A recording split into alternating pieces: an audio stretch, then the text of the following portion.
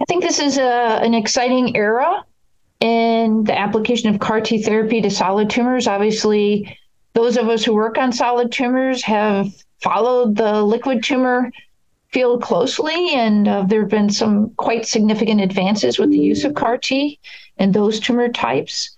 Treating solid tumors can be more challenging, and um, you know there's a very different tumor microenvironment, and with that unique unique sets of challenges but i do think that in general the field is poised uh, to make a big push in this direction.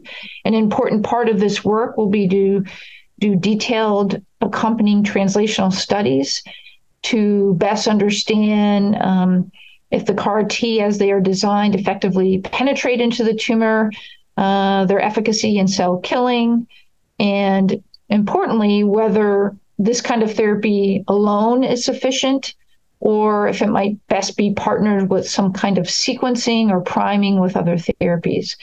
Um, overall, I think we're in an uh, exciting time uh, to pursue um, this uh, immunotherapy approach in solid tumors uh, that clearly show efficacy in liquid tumors. And as a clinician who has uh, been taking care of pancreatic cancer patients my entire career. I find it particularly exciting. Pancreatic cancer is known to be particularly immunosuppressive and recalcitrant to immune therapies.